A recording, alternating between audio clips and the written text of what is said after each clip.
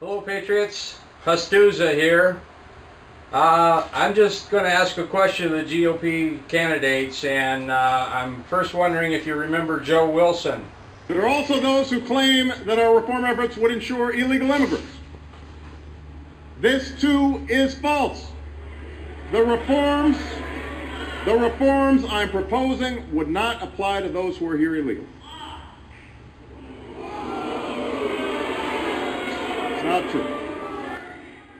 And one more. Remember, he was the one that shocked the crowd nine months after Obama took office and uh, called him a liar. He's still being ridiculed for that today. And I'm wondering, now that we all know that Joe Wilson was right, uh, I'm wondering how many of the candidates on stage, if it is found that Barack Hussein Obama has committed acts of treason against the United States, will they pursue a trial for Barack Hussein Obama for treason? I'll call him a traitor right now. He is. We've all come to know that.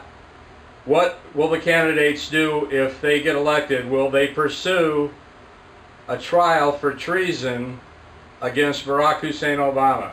Thank you.